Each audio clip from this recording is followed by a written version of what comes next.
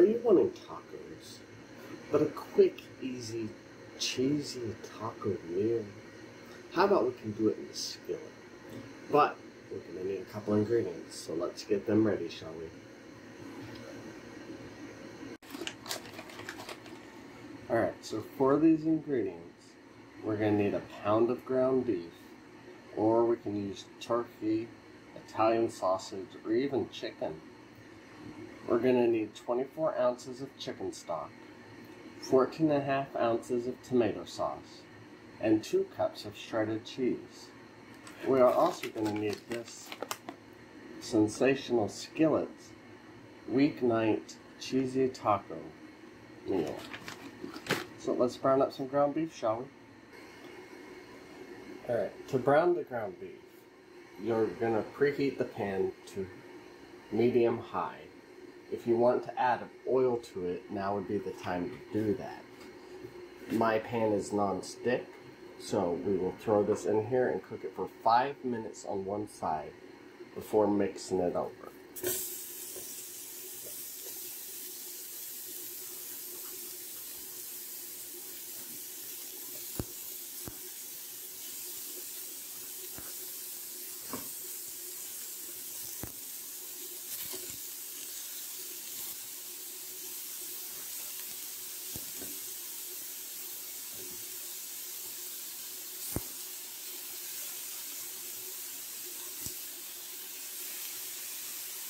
Make sure you set the, uh, the timer for five minutes.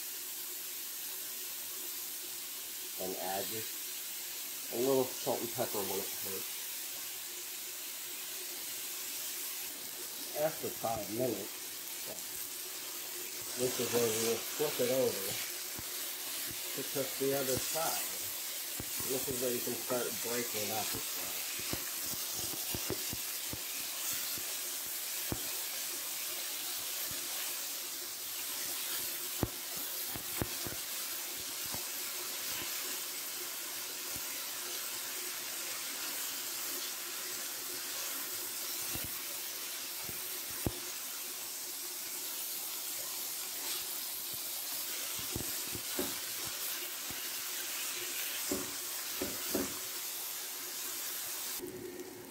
after your ground beef is cooked all the way through and no longer pink, if it's covered in oil, this is where you will remove the oil.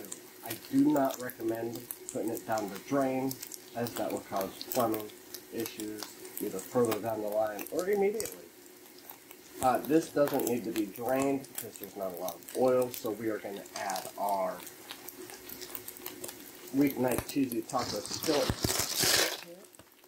with seasoning as well as our taco seasoning here, or taco sauce.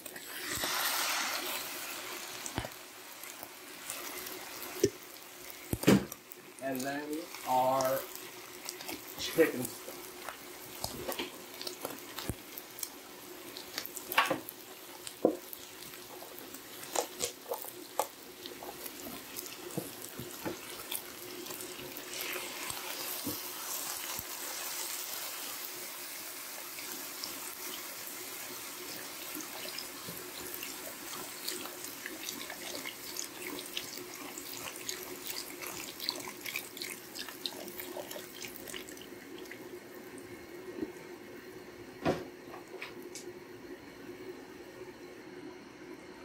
what we are going to do here is bring this to a boil, reduce it, and then simmer until the pasta is cooked and most of the liquid has been absorbed.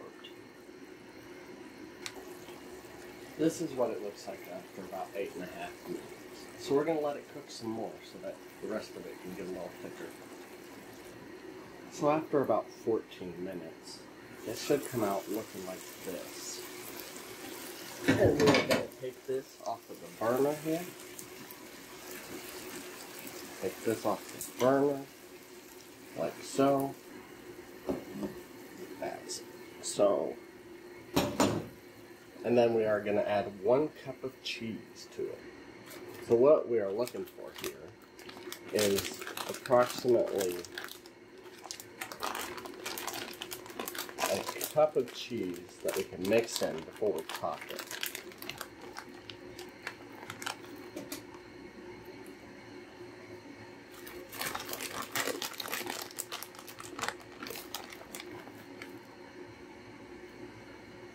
This is thick cut cheese. And then we're gonna mix this in just so that we get a little bit of it starting to melt here. And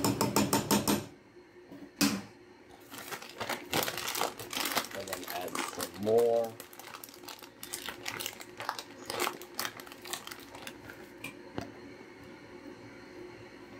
And then we'll let it sit for about five minutes with a lid on it to see how it melts. After five minutes, it should come out looking just like this. Let's see how good it really is, though. Ooh, look at that cheese. Look at it.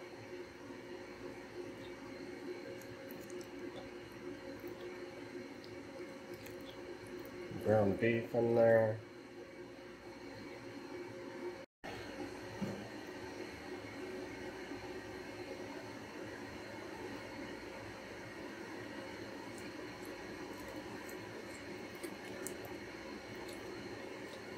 Mmm. That is cheesy and rich and creamy. If this helped you a lot, it could help me if you could leave a like and a comment and subscribe. It does help a lot. I hope you have a great night and a wonderful day. Enjoy your eating.